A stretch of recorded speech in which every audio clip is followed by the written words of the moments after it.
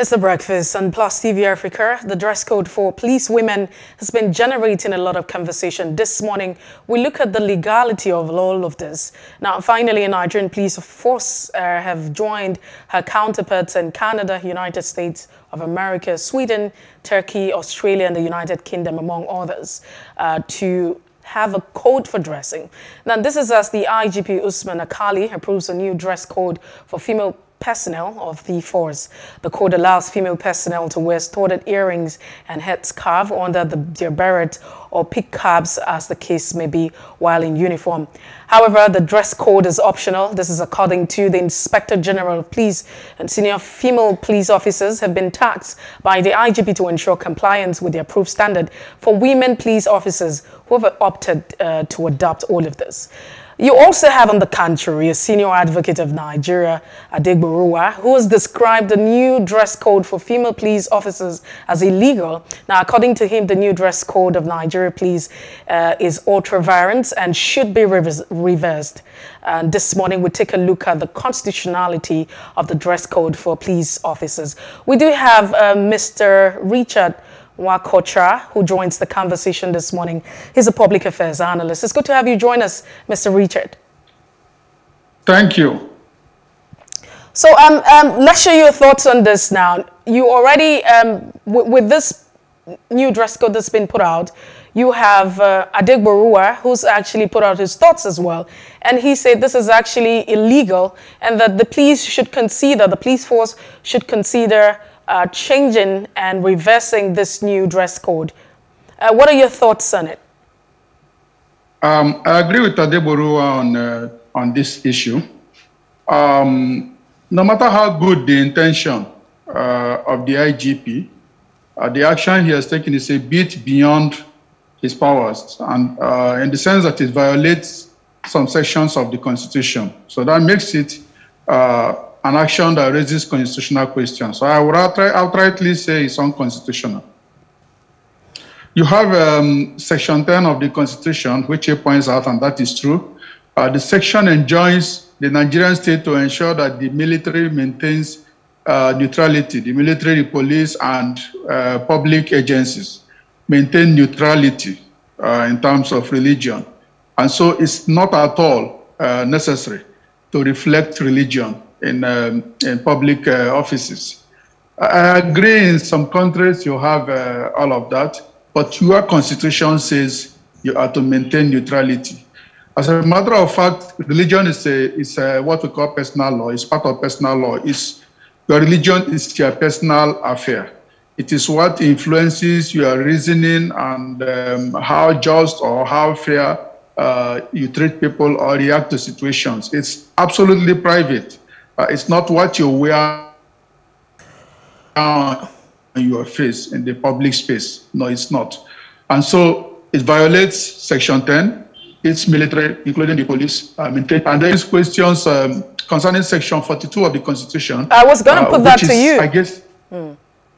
Just go Hello? ahead. Yeah, so I said I was going to, if you say that it contravenes Section 10 of the Constitution, uh, what happens to Section 42, uh, just as you were already mentioning, that, yeah, that prohibits section, discrimination? Section yeah, Section 42 ensures that, or asks the Nigerian state to ensure that nobody is discriminated against as a result of his gender, um, religion, uh, where he comes from or circumstances of his uh, life and all that, absolutely all right.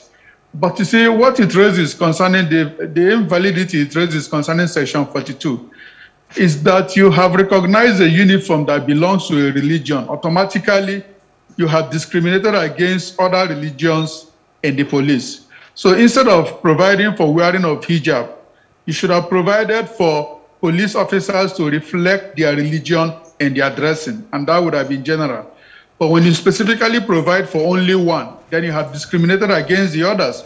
How about the Catholic woman who will want to wear um, uh, some Catholic apparel, who will want to wear her rosary on her uniform? You've not provided for that.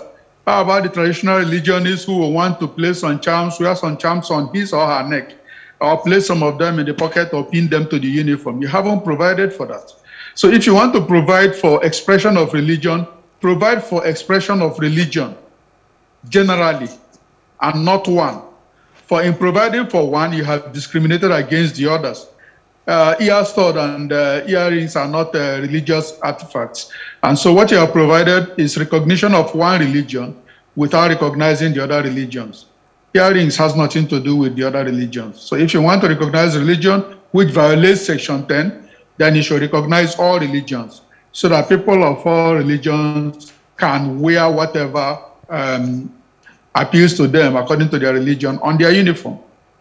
Mm. So it creates discrimination, excuse me, in providing for one religion, expression of one religion without providing for expression of other religions.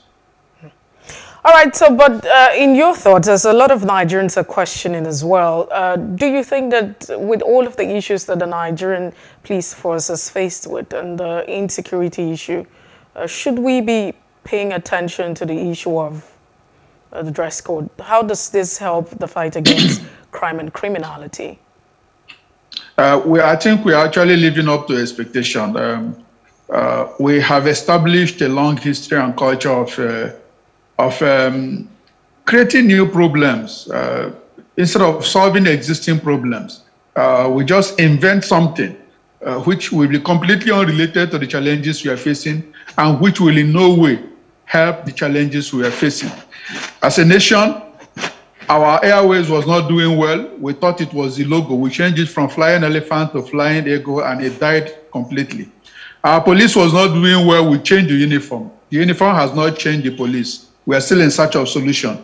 And so in the face of extreme helplessness of the police uh, and the severe um, crisis of security we are having in the country, we are wearing hijab.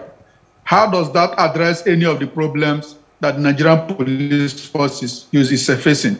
It's not going to increase funding. It's not going to improve conditions condition of service. It's not going to ensure that they are better protected uh, when they face criminals uh, which are bound in Nigeria. It's not going to solve any, absolutely, I say, absolutely any of the existing problems. So what the IGP has just done is probably create another problem to create some distraction so that we lose focus on uh, the real problems that Nigerian police uh, is facing and uh, debate a bit on the non-issue that he has introduced. It solves no problem, it adds to our problem. If it does not solve a problem, and it's causing a debate, then it's adding to our problem. Hmm. So um, just like you have mentioned, this would further, you know, create more problems and further divide us as a country. Now, uh, what happens to those who feel discriminated? I mean, those who feel that their religion has been discriminated and, and they haven't been carried along. Uh, what can they do? What's going to happen moving forward? I think what they should do is um, try to get the police to stay focused on its mandate. And that is by challenging the action of the IGP and pointing out that it violates Section 10 of the Constitution. It's not necessary uh, to find that we should all have our religions reflected. What the IGP has done is unconstitutional. And every well-meaning uh, citizen should work towards compelling the IGP to comply with the Nigerian Constitution, which is the highest law of the land. So, but uh, let's just digress away from the dress code now. Now, looking at the police, uh, following the uh, protest that actually happened, the issue of extortion, because we know that that's still um, a case that's still ongoing in our country where you have people uh, being brutalized, I mean, badly manhandled in the course of discharging their duties.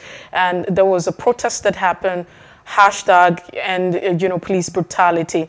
Now, majorly, uh, one of the recommendations and one of the things that the Ni Nigerian citizens have asked is that there be a reform in the entire police sector. And one would be hoping that we just have these reforms coming very quick and very fast. But um, moving uh, forward as a people, what would you say that the Nigerian police can quickly do right now? Um, there's a lot uh, to redeem, redeem her image uh, from all of the issues that she has got herself into, and how can the government help? Uh, what one expects the police to do is to face the challenges uh, we have. There are, there are, you can classify the challenges into two. Uh, there are challenges facing the police and affecting the ability of the police to discharge its mandate to the, to the nation and to its citizens. And there are challenges um, from the police affecting citizens, which gives them bad image. Now, I can't stop you from uh, misusing your uniform and abusing citizens. That is something you need to stop yourself from doing. And we expect that the police will come up with some kind of reform which should teach the Nigerian police that they are no longer the colonial police that they were at foundation, that they are a national police and an institution that belongs to a sovereign state whose mandate and critical responsibility or core responsibility is the protection of citizens and providing for peaceful environment for citizens to do their business. That is their core mandate. So we expect that we'll have reform that will change the orientation of the Nigerian police officer and make him realize proudly that he is at the service of the citizens to protect the citizens and not the reverse, uh, where he sees the citizen as a bloody civilian to be dealt with and to protect every criminal in the police force and the police uniform uh, uh, in, in, the, in the spirit of uh, esprit de corps uh, to protect them no matter the crime they commit. That needs to stop. Those are the reforms we are expecting. And we expect them also to make appropriate contacts to convince the Nigerian state, like citizens have done and the youths have done in the protests we talked about. Uh, we do appreciate your time. We seem to have a disconnect with uh, Richard Wokocha. Police funding. Uh, Richard Wokocha, we, we have to let you go at this point. Thank you so much for being part of the show. Uh, we seem to be having uh, some network connection issues, but we really do appreciate your time uh, with us this morning on The Breakfast, and we look forward to having more of you. Thank you so much. Have a great day.